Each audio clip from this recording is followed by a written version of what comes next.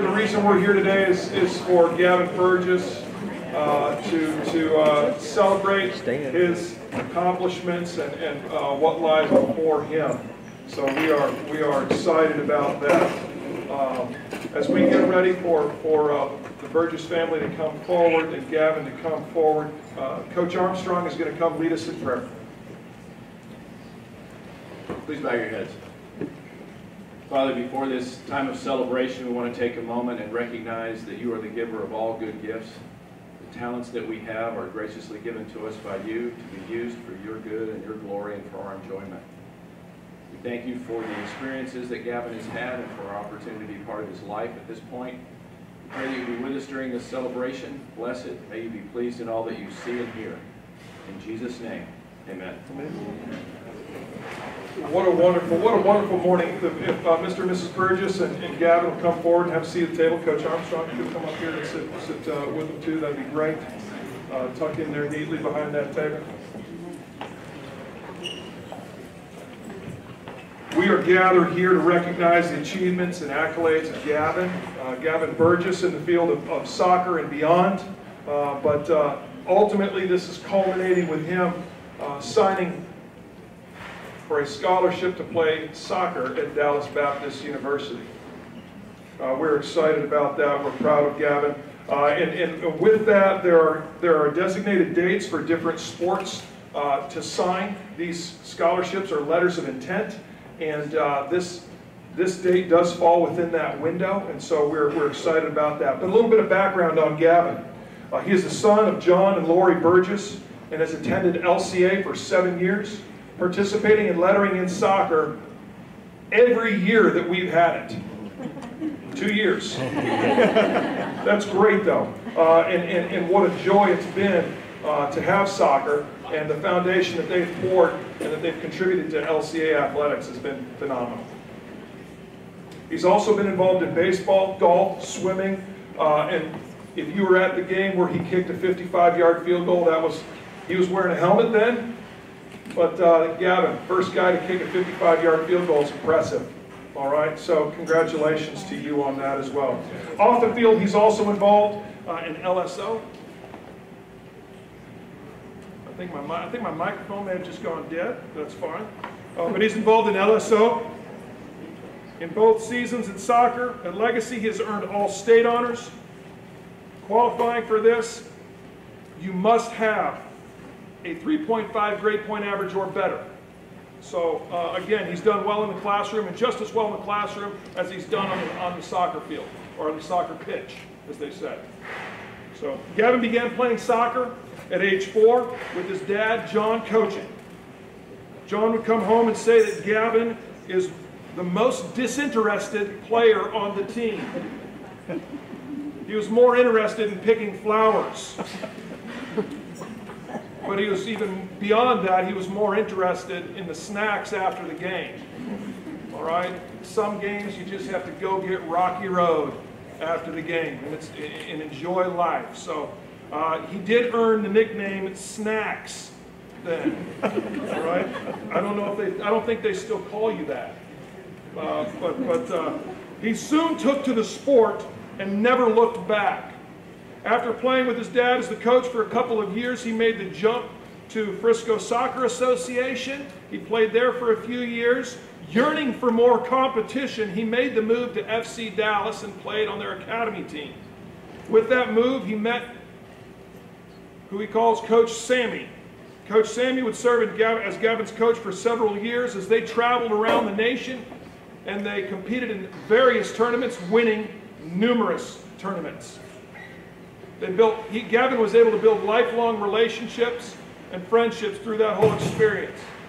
Which, if you think about it, the greatest purpose in sports, number one, is to honor God, and number two, to build relationships, things that last.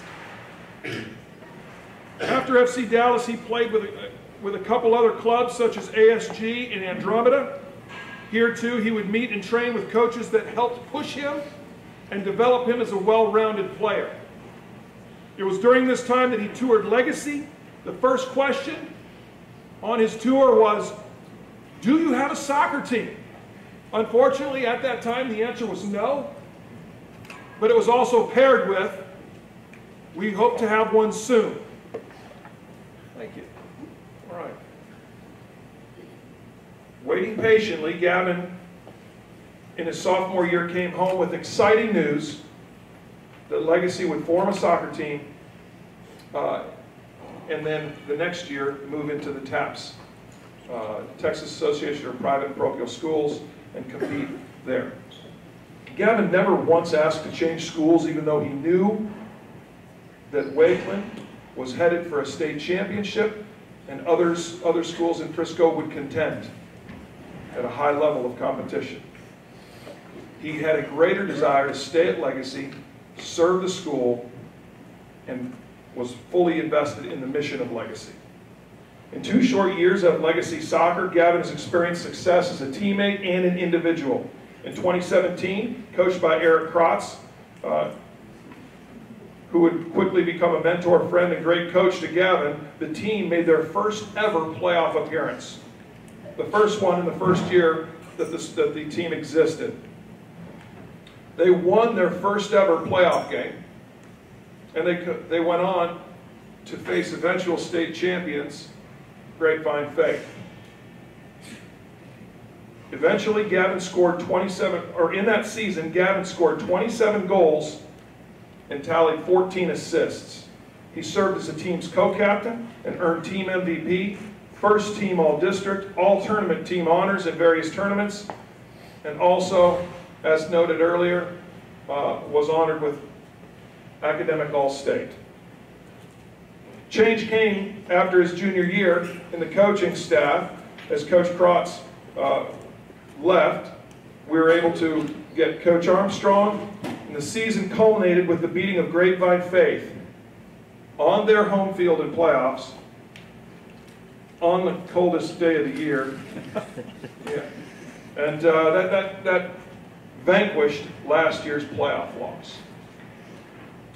They then went on to face Prince of Peace and lost in the regional final. Gavin earned honors of team MVP, captain, offensive player of the year, first team all district, second team all state, and once again, academic er, all state. Gavin's unselfish play and field vision creates scoring opportunities for teammates. Gavin improves the value of every player on the field when he is on the field with them. He is an unselfish player. His love for his teammates, desire to compete, and passion for the game run very deep. This is evidenced through continuing to play after somehow fracturing his foot in the Grapevine Faith game. I, I didn't know you were hurt. That's how well he hit it. Did you know he was hurt, Coach? No, he, he, he hit it very well, but he later on was diagnosed with a fracture there. Uh, so he continued to push through that, continued to show resolve, continued to show grit, and finished the season with a fracture in his foot without missing uh, any of the playoff games. Some of his best memories were being able to travel to tournaments and attend soccer camps, even having to spend a night in a rental car in Las Vegas because his parents were told the room was not yet available. That same day, he woke up, played in a college showcase game, and also put, put the ball in the back of the net that day. Gavin was honored to have offers all the way from Iowa to Arkansas, but Dallas Baptist was his first choice. And this is a testament to Dallas Baptist and Legacy Christian Academy because he feels that Dallas Baptist University is an extension of Legacy Christian Academy and a place that he can grow and be challenged as well as play the sport for which he has always had a passion. Gavin, as you open up that letter uh, of intent and prepare to sign that, look out here, look at your peers, look at what is legacy, take it all in, and then sign it when you're ready.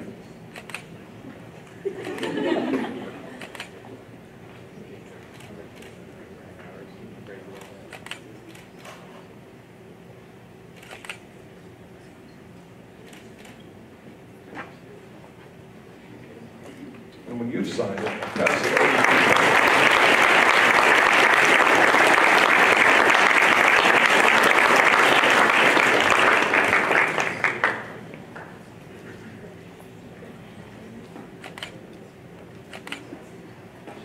Gavin, we appreciate your leadership, your diligence, your commitment to legacy, to legacy athletics, to the soccer team. In two years, they have very much poured a foundation, and, and you have, you have and are leaving a legacy here.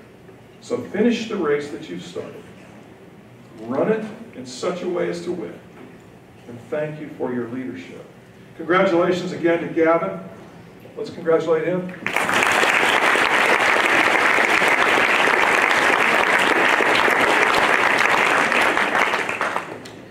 Gavin, it is, it was Gavin's request to have Coach Armstrong open us in prayer and Mrs. Bixler close us in prayer. After, Mrs. Bixler, if you'll come on up, after she closes us in prayer, you need to head quickly to your, the first period class of the day. Thank you. Would you bow with me in prayer? Philippians 3, 13 and 14 says, Brothers, I do not consider that I have made it my own, but one thing I do, forgetting what lies behind and straining forward to what lies ahead. I press on toward the goal for the prize of the upward call of God in Christ Jesus. Lord, we thank you for this time of celebration as we acknowledge the opportunity and blessing you've granted Gavin Burgess. We thank you for his parents, grandparents, family, and friends who stand before him now and who have stood beside him throughout his 18 years, encouraging him as he celebrated the victories, accepted the defeats, and learned the lessons not only in the game of soccer, but in life. We thank you, Lord, for the years of soccer experience you've granted Gavin, from the time he played his first soccer game at age four till present, for the select teams he participated in, as well as the past two years at LCA. We acknowledge you, Lord, and thank you for giving Gavin what it takes to be a true athlete. God-given talent, hard work, perseverance, leadership, teachability, but above all, humility. Lord, we pray for your protection and hand upon Gavin as he joins a new community of believers. Let him enjoy the excitement that will come from walking onto that DBU field for the first time as a Patriot, with the goal of glorifying you in every practice and game played. Help him fulfill his call and commitment to DBU and recognize his need to be dependent on you for success. Lord, let him never forget that he's loved and supported by many, and help Gavin to acknowledge you in everything he does. In your precious name we pray. Amen.